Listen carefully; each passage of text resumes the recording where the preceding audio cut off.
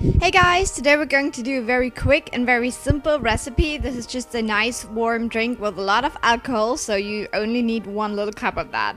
You want to start out with your white wine in a bowl. You want to add the apple juice as well as a little bit of amaretto.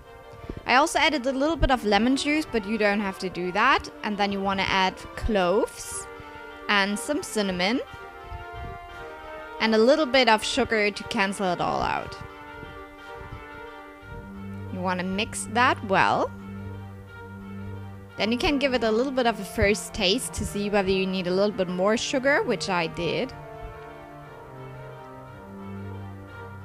And then you just want to wait for it to heat up. This should take around 5 minutes on medium heat. You do not want this to cook. Then you want to remove the cloves. You want to pour it into your cups.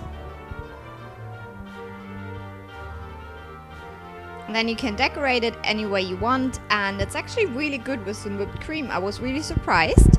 Um, it has a little bit of that appley hint to it, but it's also creamy. So I really like that. I hope you try it. Have a great time and I will talk to you tomorrow. Bye!